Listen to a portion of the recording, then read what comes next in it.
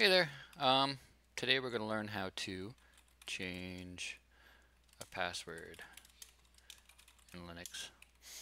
Uh, we'll do it a couple ways. First, we'll uh, change your regular regular user's password, and then we're going to change another user's uh, another user's password using root access. so let's go over here. Um, so here I am. Uh, I'm Rob. Logged in as Rob. Uh, so what I'm going to do, I'm going to change my password. All you do to change your own password, type the password command, which is passwd. So first you put in the current one, then you enter a new one, and do it twice, and it's done.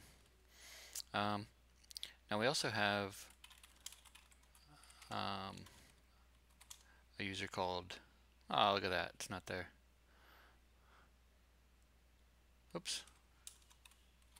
Dumb. Alright, so here we have a user named LT. I'm going to go ahead and change his password.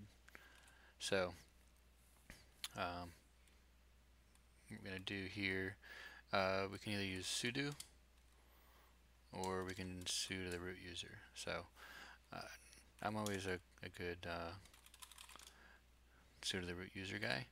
So right now we're going to change password for the user LT for Linux tutorials.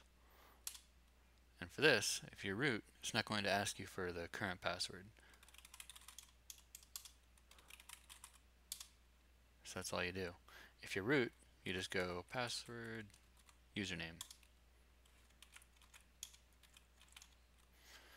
So, blah, blah, blah, okay. Um, now, if you want to use sudo, uh, it's going to ask you for your password, which I just changed, so that's not right. So now it's asking for the new password for LT. That's it. Um, so a couple different things there. Uh, we did we change our own user's password and that we just type in just the just that's it just password. Um, if we're changing another user's password we're either going to use su or we're going to use sudo to get root access so we can change that guy's password. And that's it. Thanks a lot. Subscribe like share all that good stuff